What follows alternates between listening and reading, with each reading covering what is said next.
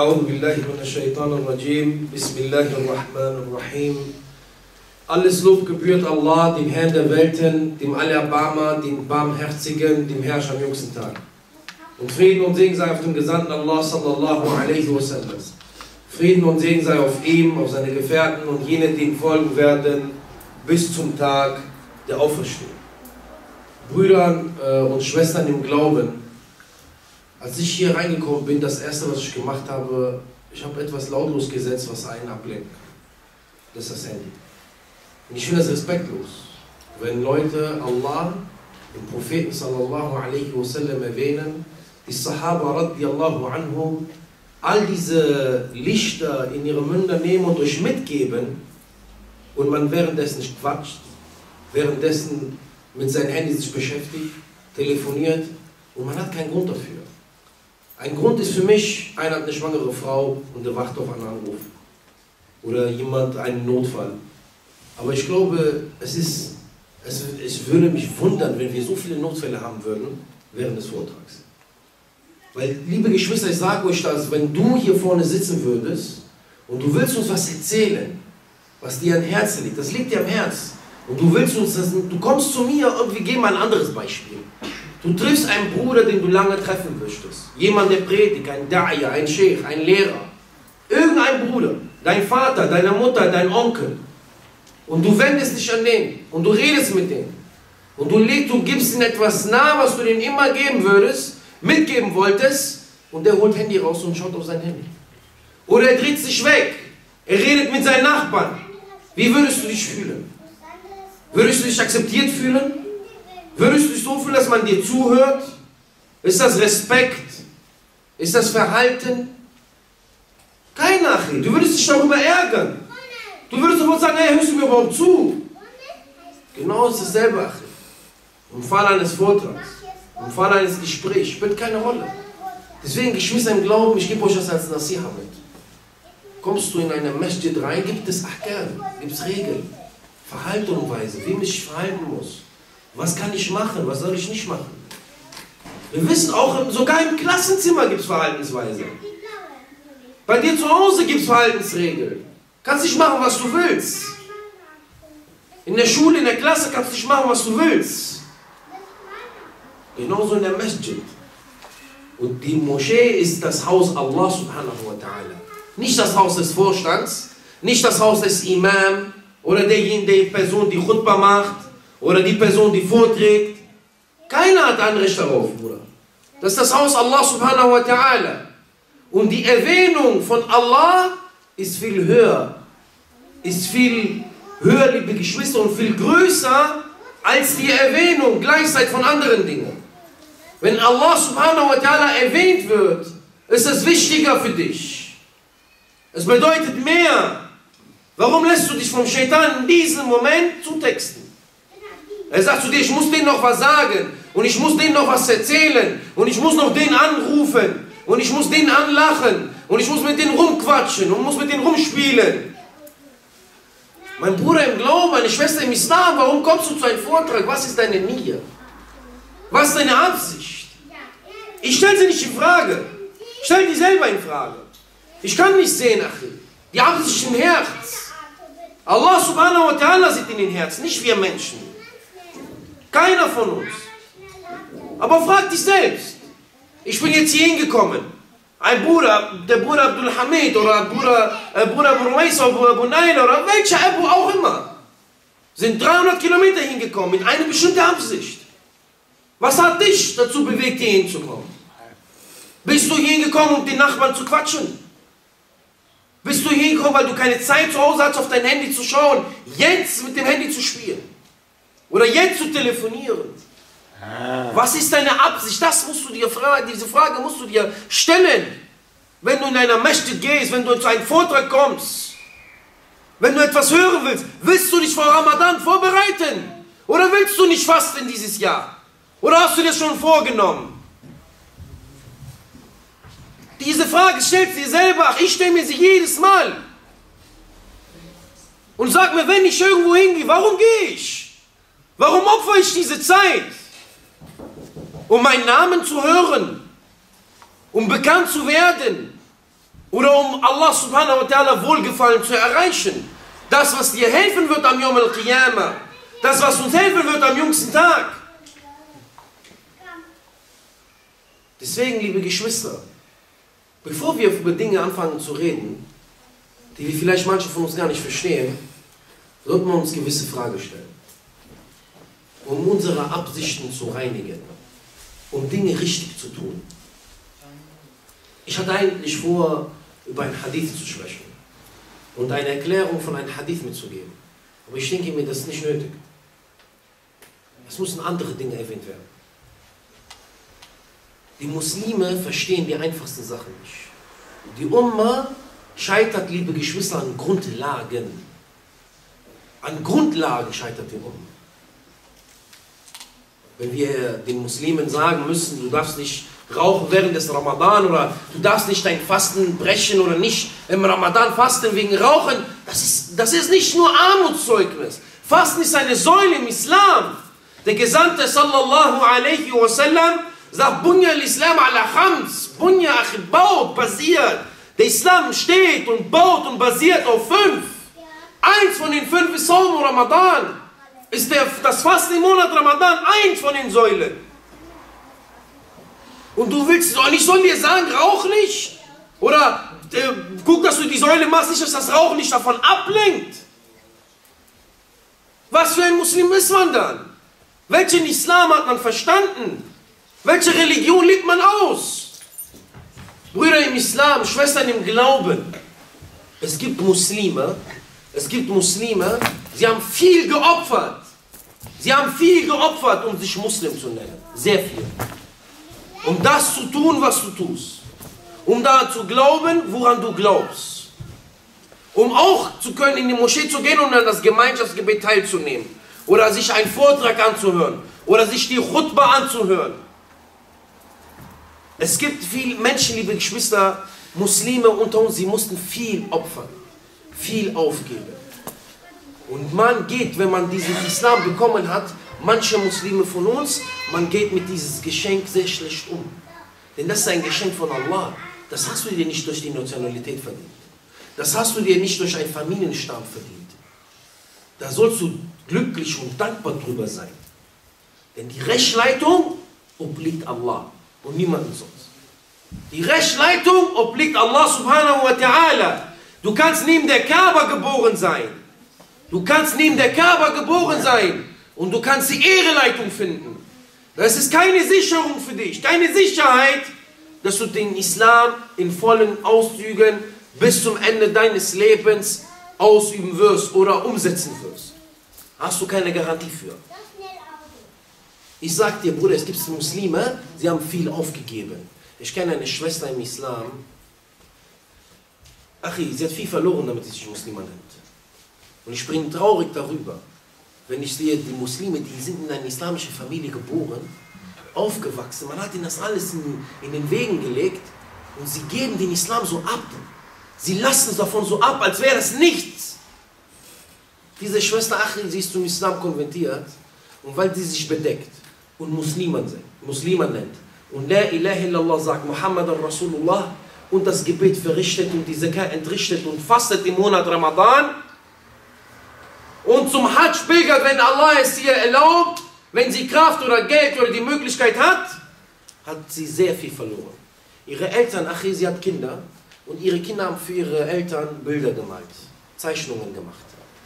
Wie ein Kind macht für Opa, für Oma. Jemand, der Vater ist, der kennt das. Und die haben Geschenke für die Eltern gehabt. Und äh, Oma und Opa erwähnt. Und sie hat all diese Sachen, weil die Eltern etwas weiter weg wohnen, immer zu denen geschickt bis die Eltern erfahren haben, dass diese Frau sich bedeckt für Allah subhanahu wa ta'ala. Die Eltern haben alles auf eine Kiste, in eine Kiste reingetan und ihr ist zurückgeschickt, alle Briefe, alles, und haben dir gesagt, wir wollen nichts mehr mit dir zu tun haben. Sie hat ihre Eltern aufgegeben für Allah subhanahu wa ta'ala. Sie hat ihre Eltern aufgegeben für Allah subhanahu wa ta'ala, damit sie sich Muslima nennt damit die fassen kann dem Monat, der jetzt kommt. Und ich soll dir sagen, rauch nicht während des Ramadan. Guck mal, was Menschen aufgeben, was Menschen sein lassen, damit sie sich Muslime nennen. Und ich soll die Zigarette vergleichen? Audu billah. Ich soll ihr sagen, bete? Was, was ist das für ein Armutszeugnis, Achi? Guck mal, was Menschen aufgeben, Bruder. Und Schwester im Islam, guck mal, was sie machen müssen. Welche Prüfungen sie haben. Was sie loslassen sollen. Damit sie das machen können, was du machen sollst. Aber nein, man ist zu stolz dafür. Man ist zu, was weiß ich dafür. Die eine siehst du, sie gibt alles auf, um Muslime zu nennen. Der Muslim, der im Islam geboren wird, gibt alles auf, um sich Gangster zu nennen. Oder um sich was weiß ich zu nennen. Um irgendeine bestimmte Person nachzugehen. Um Rapper zu werden. Um was, egal was. Alles aber, was nicht mit dem Islam zu tun hat. Er würde für, für Rapper werden oder für irgendeinen Schrott werden, würde der Familie aufgeben vielleicht. Aber die andere Person lässt davon ab wegen Islam. Und sie, nicht von, sie hat das nicht freiwillig gemacht. Man lässt von ihr ab, weil sie Islam hat. Und sie muss Islam loslassen, damit sie ihre Eltern bekommt. Aber tut sie nicht. Tut sie nicht. Walhamdulillah. Weil das ist, liebe Geschwister, die Rechtsleitung, die obliegt Allah subhanahu wa ta'ala, nicht dir und nicht mir. Die Rechtsleitung obliegt Allah subhanahu wa ta'ala. Ob du als Muslim stirbst oder nicht, ist eine andere Sache. Die Brüder haben eine Ayah erwähnt über Siam. Und dass Allah uns etwas zum Fard gemacht hat zur Pflicht gemacht hat. Aber es gibt eine Eier,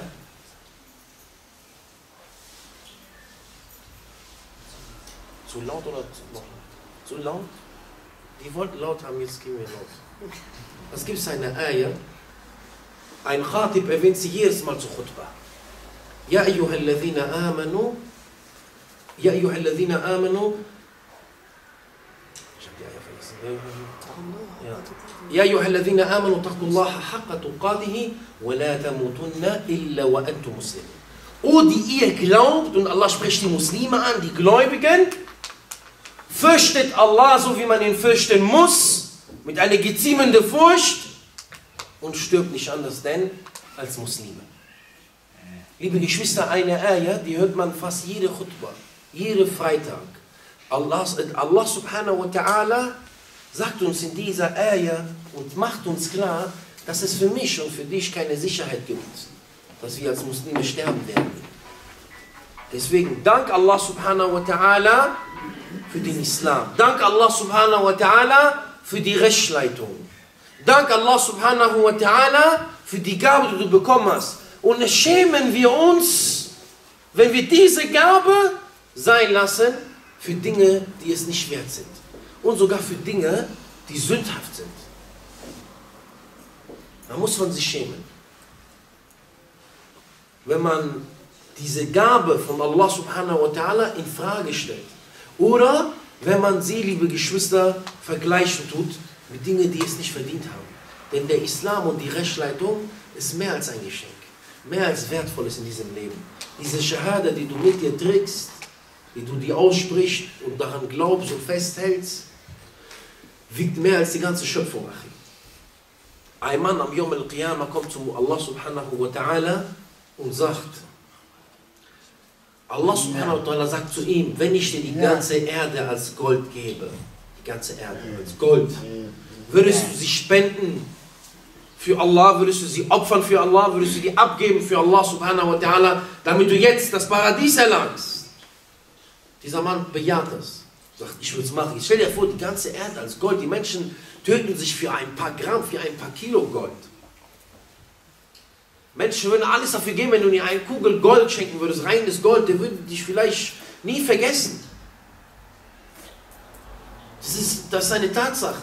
Jetzt die ganze Erde kommt als Gold. Die ganze, die ganze Meere, der ganze Sand, die ganze Berge, die ganze Blätter, die wir gehen. Weißt du, wie viel das ist? Das überschreitet unsere Maß. Das überschreitet unsere Vorstellungskraft. Würdest du das opfern? Menschen opfern heutzutage vielleicht nicht einen Cent. Und da ist wenig 0,00000 Gramm Gold drin. Oder was weiß ich, 10 Pfennig oder 10 Cent manchmal oder wo auch immer. Ein Geldstück, diese Kupferstück äh, verbraucht man, da hat man Angst zu geben. Stellt man sich 100 Fragen, bevor man geht. So, liebe Geschwister im Islam, der Mensch wird hier wird ihnen etwas gegeben, was unsere Vorstellungskraft überschreitet. Die ganze Erde, die ganze Erde, liebe Geschwister, als Gold. Er bejaht, er würde geben. Er würde geben. Am Yom Kippur sagte, ja, ich würde es geben. Allah subhanahu wa ta'ala sagt, ich habe viel weniger als das verlangt. Weil etwas zu geben ist schwer. Es opfert, es kostet Kraft. Er sagt, ich habe dir viel weniger als das verlangt. Nämlich was? Zu sprechen, La ilaha illallah. In einer anderen Ayah, liebe Geschwister, in einer anderen Belieferung heißt es, dass Allah subhanahu wa ta'ala auf der einen Waagschale die Shahada tut und der andere, auf der anderen Waagschale die ganze Schöpfung, Achi. Bäume, Meeren, alles, Berge, alles, Achi. Alles kommt auf eine Waagschale. Alle Himmel, alle Erden. Der Thron Allah subhanahu wa ta'ala, die größte Schöpfung, Thron Allah subhanahu wa ta'ala, kommt alles auf, in der Waagschale. Und auf der anderen Waagschale kommt La ilaha illallah. Und das wiegt mehr bei Allah. Das wiegt mehr bei Allah subhanahu wa ta'ala. Denk darüber nach, mein Bruder im Glauben. Denk darüber nach, Schwester im Islam. Was du von Allah subhanahu wa ta'ala bekommen hast. Wie gehst du damit um? Denk darüber nach, was dich erwartet. Und frag dich jedes Mal, warum du gewisse Dinge tust. Und wisse, dass Menschen, Menschen mit dir leben, die viel abgegeben haben, um diese Religion zu tragen. Die viel durch viele Prüfungen gehen müssten, um diese Religion zu tragen. Also geh nicht damit, geh nicht damit so um, als wäre das etwas äh, nicht Wertvolles. Weil dann hast du die, die, die Bedeutung des Islams nicht verstanden. Und ich gebe dir eine Überlieferung vom Prophet, dass man keine, keine Tat, keine kleine Tat leichtfertigen soll. Auch kommen in einen Vortrag und zuhören und nicht quatschen, kann dir vielleicht bedeuten, der Eintritt ins Paradies. Das weißt du nicht. Wenn du das mit richtiger Absicht machst, Gottesfurcht gegenüber Allah und Ikhlas mit, in der Sache, vielleicht ist das der Grund, warum du das Paradies ergatterst. Aber wenn du kommst und du hast nichts anderes zu tun, außer mit anderen zu reden, oder was auch immer dich mit zu beschäftigen, dann wisse, Achi, dass der Shaitan mit dir spielt. Du tust vielleicht einen auf groß, aber du bist sehr klein. Du bist sehr klein. Denn ein Geschöpf, was Allah gehorcht, und mag es in der Größe kleiner sein als du, ist mehr bei Allah als ein Geschöpf, was nicht Allah subhanahu wa ta'ala gehorcht. Vernachlässige und sehe keine Tat als zu klein. Der Gesandte alaihi salatu wassalam nimmt sogar das Spenden einer halben Dattel und sagt, dass das dich von der Hölle retten kann. Spenden von einer halben Dattel. Wir reden vom Erwähnung von Allah subhanahu wa ta'ala, Hadithe hören, in der Masjid zu sein, Tahiyat al-Masjid zu beten, zwei Raka'a zu machen, dies und jenes, Salam alaikum zu geben zu den Brüdern, Grüßen. Wisst ihr, was das alles bedeutet, liebe Geschwister? Das sind gewaltige Taten, das sind Taten mit Gewicht. Deswegen, leichtfertigen wir nichts. Und ich stelle dir die Frage, und ich stelle uns die Frage, die wir am Anfang gestellt haben. Warum sind wir hier? Wollen wir uns vorbereiten? Das ist die Frage, die wir uns stellen sollen. Oder bin ich gekommen, um Leute zu treffen, Tee zu trinken, was auch immer. Und du wirst sehen, Achi, wenn, wenn wir uns solche Fragen stellen, werden wir uns innerlich verändern. Dann werden wir, erst dann werden wir uns ändern. Erst dann werden wir einen Ramadan erleben. Erst dann werden wir vielleicht die Zeit im Ramadan nutzen. Erst dann. Aber wenn man sich diese Fragen nicht stellt und wenn man sich mit anderen Dingen beschäftigt, dann, liebe Geschwister, wird das nicht so sein. Dann wirst du es nicht so erleben können. Glaub es mir. Deswegen dank Allah subhanahu wa ta'ala für alles. Für alle Sachen. Und sei dir nicht zu stolz, um zu danken. Danke, dass du danken darfst. Danke überhaupt, dass du danken darfst, weil andere Menschen können vielleicht nicht danken.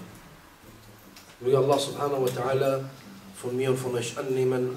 Ich bedanke mich bei den Brüdern, die das Ganze hier veranstaltet haben.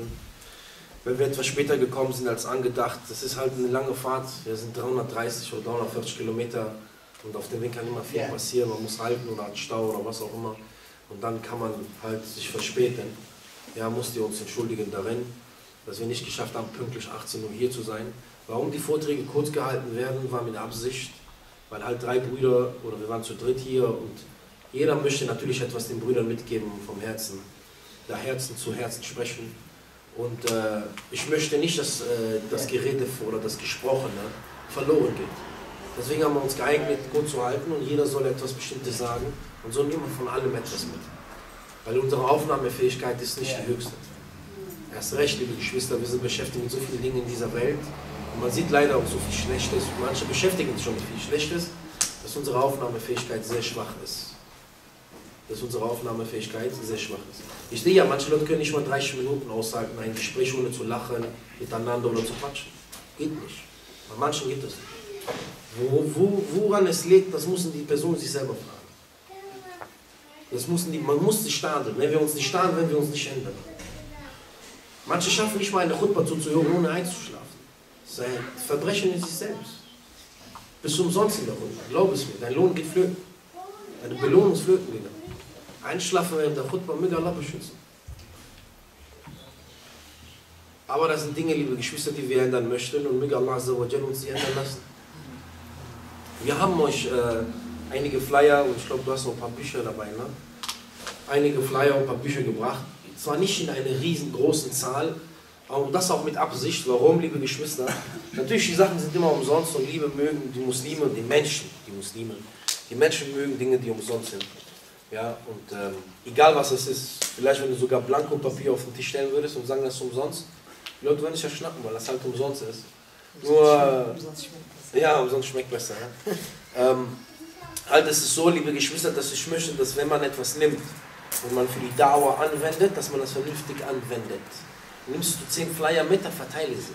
Bringt nichts, wenn du einen Batzen mitnimmst, in diesem Moment, wo alle nehmen, und dann bleibt dieser Batzen bei dir zu Hause bis zum Allahu Alam, bis du 40, 50 wirst. Und du hast nichts verteilt. Ja, deswegen, ein kleines von nimm etwas und nimm mir es vor, dieses bisschen zu geben. Vielleicht fertige keine kleine Tat. Ach, das kann viel bedeuten. Du weißt nicht. Dieser eine Flyer von den 10, die du genommen hast, anstatt dass du 100 mitnimmst, weil die umsonst waren, kann sein, dass diese 10 Flyer wirken, weil du die für Bedacht geben wirst. Nehme es und gib es Bedacht an Leuten, die Interesse haben. Verteile es nicht, als wäre das Pizza-Flyer. Ja, oder als wäre das, was weiß ich, ein Party-Flyer. Ja, wo die, man verteilt das halt einfach, ich muss eine Menge verteilen. Ich habe 1000 Flyer verteilt, damit ich sagen kann, ich habe 1000 Flyer verteilt. Nein, verteile es bedacht. Mach es bedacht, damit die Sache auch einen Segen hat, damit die Sache auch gesegnet wird. Und nimm es nur, wenn du es vorhast zu machen. Machst du es nicht, dann lass es sein. Nicht, dass die äh, ähm, Papier, Altpapier werden in deiner Wohnung. Dafür ist das nicht gedacht, weil die Leute opfern Geld dafür, damit das gedruckt wird, andere spenden dafür, damit diese Sachen gedruckt werden und gemacht werden. Und es hängt eine Arbeit und es steckt eine Arbeit dahinter. Und ich habe gesehen, in den letzten Jahren, wo wir Dauer gemacht haben und wir haben hunderte von tausende von hunderttausende von Flyer und CDs und was auch immer verteilt. Ach, bei vielen Muslimen ist das Altpapier gewesen. Du bist bei einem Muslim gegangen, hast gedacht, sein Auto voll gestapelt. Ach, was machst du damit? Wozu stapelst du das da voll? Flyer von Veranstaltungen. Veranstaltungen seit zwei Jahren vorbei oder so. Das ist ja schon meine Liebe. Das heißt, wir mussten, wir mussten anfangen zu überlegen. Der Mu'min ist schlau, Achim. Der Mu'min, der Gläubige, ist schlau. Er überlegt, er denkt nach. Nicht einfach geradeaus durch die Wand. Er ist schlau, er bedenkt Dinge, Achim. Er überlegt sich Sachen, bevor er etwas tut. Er macht nicht einfach, weil alle machen. Wir sind nicht, sollen nicht von denjenigen, ja, alle machen, ich mache das auch. Alle gehen zum Vortrag, dann gehe ich auch zum Vortrag. Hab keinen Bock zuzuhören, will nicht zuhören, hab keine Lust hier zu sein. Aber ich komme, weil alle hingehen. Alle gehen nach links, ich gehe nach links. Alle gehen nach, bist du Mitläufer dann bist du schlicht einfach ein Mitläufer. Das sollst du nicht sein als Muslim. Weil Allah dir etwas gegeben hat auf dieser Erde, was andere Menschen begehren oder haben wollen und nicht haben. Weil du ein Geschenk bekommen hast von große, große, von einer Riesengröße, die ich dir nicht beschreiben kann. Und für diejenigen, die zum Islam konvertiert sind, die wissen das. Die haben, das, die haben vielleicht etwas mehr erkannt, was dieses Geschenk bedeutet, weil die wissen, wie das ist, ohne Islam zu sein. Weil die sind nicht damit aufgewachsen. Und weil sie vielleicht keine Eltern haben, die Muslime sind und mit ihnen den Islam teilen können. Deswegen, bedenke deine Taten, bedenke deine Schritte. Du musst anfangen, vernünftig zu handeln, schlau zu handeln. Das ist sehr wichtig, liebe Geschwister. Nochmal Barakallahu fikum und ich bedanke mich, wie gesagt, an allen Geschwistern, auch die da waren und aufmerksam zugehört haben, sowie auch bei den Schwestern. Möge Allah subhanahu wa ta'ala von mir und von euch annehmen. Möge Allah subhanahu wa ta'ala uns erlauben, den Ramadan zu erreichen, da auch es sein kann, dass man diesen Ramadan auch nicht erreicht. Ja, ich kenne Leute, immer jedes Mal fast im Ramadan, hört man von Leuten, die kurz vor Ramadan gestorben sind. Ich kann mich erinnern, ich glaube 2010 oder 2011 war ein Junge, der ist bei uns in der Nähe eine Nacht noch vor Ramadan gestorben. Ähm, es kann alles passieren. Ja? Möge Allah subhanahu wa ta'ala uns diesen gesegneten Monat erreichen lassen, da man in diesem Monat die Zügel in die Hand bekommt und man kann sich zu großartigen Taten und gute Taten äh, hinleiten lassen, liebe Geschwister, und hinbringen lassen. Man kann, wenn man verändern, so kann man sich verändern. Wobei, ich möchte eine Sache sagen, jeder Bruder und jede Schwester soll sich vornehmen, jetzt zu ändern. Auch wenn wir es vielleicht nicht jetzt schaffen sollten, alles zu ändern, nimm es dir vor. Die Taten entsprechen der Absicht. Nimm es dir vor. Sag, ich ändere mich jetzt. Ich gehe nach Hause, ich ändere mich. Wer weiß, vielleicht werden dir die Türen geöffnet. Mach keinen Terminkalender. Ich ändere mich nächsten Ramadan. Ich ändere mich beim Hajj, nach der Hajj, nach der Umrah. Ach, ich kenne einen Jungen, der hat vor zehn Jahren gesagt, dass der nach dem Silvester, das war 2004 Silvester, glaube ich, also von 2003 zu 2004, knapp so ungefähr, ich weiß, ich kann mich schon nicht 100% erinnern, aber war viele Jahre her, hat er gesagt, ich feiere nur noch Silvester und dann will ich Islam nehmen. Ich sehe, er hat so einen Kalender gesetzt. Ich, ich mache nur diesen Silvester noch mit, sagt er, weil ich will diesen Silvester noch feiern und dann nehme ich Islam an. Zehn Jahre vergangen, der hat immer noch kein Islam. Immer noch Silvester feiern, Islam annehmen. Immer noch dabei. Ja, mein Bruder hat mir vor zwei Wochen gesagt, das ist meine letzte Packung, ich rauche meine letzte Packung, sagt er zu. Das ist ja Kerfel, mega mein Rechner. Ähm, und dann, ich habe mit denen geredet darüber, halt, die beschweren sich immer über Geld, äh, Sorgen und so. Ich sage, ach, also ich meine, ich kann nachher zu ihnen sagen, weil er mein Bruder ist, ja, vom Blut her. Ich sag zu denen, du, du legst mindestens 300 Euro im Monat aus für das Zeug, damit du rauchen kannst. Und Alkohol und das. Hör damit auf, dann hast du auch mehr Geld. Dann wirst du auch sehen, dass das anders ist. Ja, sagt, das ist meine letzte Packung. Gestern treffe ich stehen, neue Packung. Ist so, war die letzte Packung schon oder hast du mal eine letzte Packung und sagst du mir, ja, kennst du doch. Ein bisschen genießen. Ja, das ist keine, diese, man hat, das bedeutet, diese Leute haben kein Durchhaltevermögen. Und dieses äh, fehlende Durchhaltevermögen siehst du auch bei den Muslimen. Ich fange heute mit Koran lesen, dann macht er zwei Tage Koran lesen, dann lässt er zwei Jahre nicht mehr. Dann nach zwei Jahren sagt er, ich fange jetzt mit Hadith an. Dann macht er zwei Wochen Hadith, nach zwei Wochen macht er wieder ein Jahr nichts mehr. Immer dieses, ich fange an und ja, und man hat kein Durchhaltevermögen. Aber dieser Weg, den wir gehen, benötigt Durchhaltevermögen. Stirbt nicht anders denn als Muslime. Dieser Satz sagt dir, du musst durchhalten, da du nicht weißt, wann du sterben musst. Es können viele Jahre werden, es können weniger Jahre werden. Durchhaltevermögen ist sehr wichtig. Ich möchte kein anderes Thema öffnen. Möge Allah uns von den Leuten des Paradieses machen. Möge Allah subhanahu wa ta'ala alle Muslimen und alle Muslimas ihre Sünden vergeben, ihre Taten annehmen. Und möge Allah subhanahu wa ta'ala unsere Geschwistern, Brüder und Schwestern in Syrien befreien von ihren Leiden und von einem ungerechten Herrscher. Möge Allah subhanahu wa ta'ala in ihre Freiheit geben. Wa alaikum wa rahmatullahi wa barakatuh.